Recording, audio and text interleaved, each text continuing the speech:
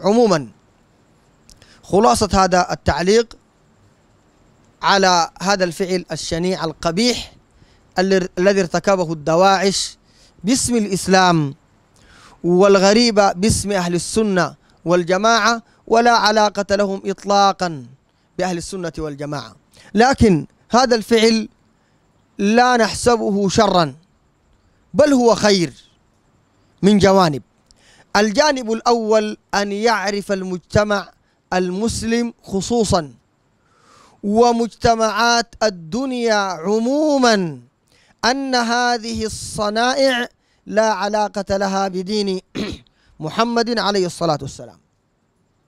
وأن هذا من الفساد الذي لا يقبله التابعون لمنهج النبي صلى الله عليه وسلم كما صرح علماؤنا بالتبرؤ من هذا الفعل وأنه لا يمثل أهل السنة ولا يمثل الإسلام الصحيح الذي كان عليه النبي صلى الله عليه وسلم.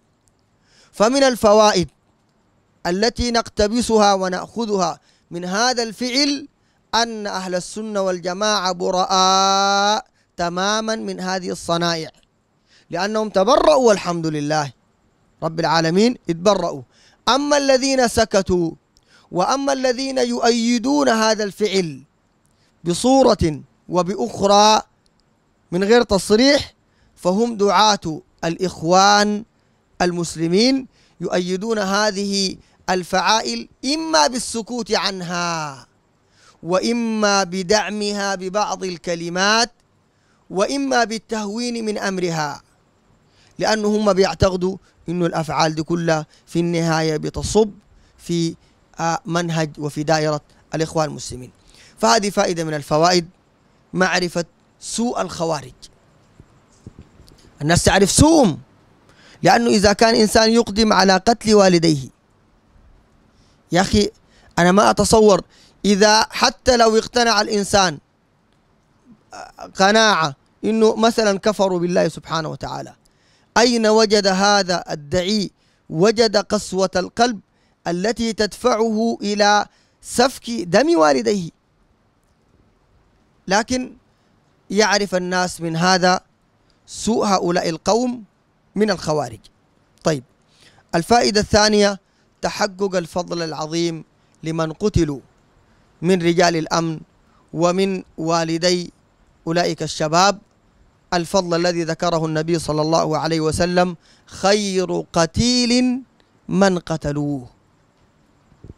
والناس يا إخواننا تحب الشهادة في سبيل الله ولكن هذه الشهادة لا تنال إلا بمثل هذا الامتحان. لذلك ربنا سبحانه وتعالى قال لما قتل من قتل من المسلمين في أحد قال ويتخذ منكم شهداء فلا يمكن أن يتخذ من المؤمنين شهداء إلا إذا وقع فيهم القتل هكذا في سبيل الله سبحانه وتعالى. فنحسب أن من قتلوا هم خير قتلى. لقول النبي صلى الله عليه وسلم عن الخوارج خير قتيل من قتلوه. وصدق رسول الله صلى الله عليه وسلم.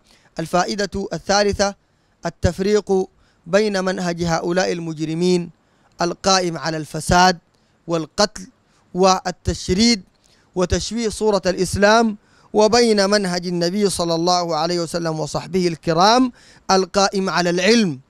هذا منهج أهل السنة قائم على العلم والحجة ومجادلة الغير من المشركين والكفار وأهل البدع مجادلتهم بالقرآن وبالسنة وبالحجج القوية.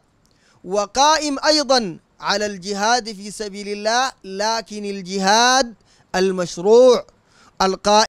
وصية القحطاني. بالله قولوا كل ما أنشدتم رحم الإله صداك يا قحطاني.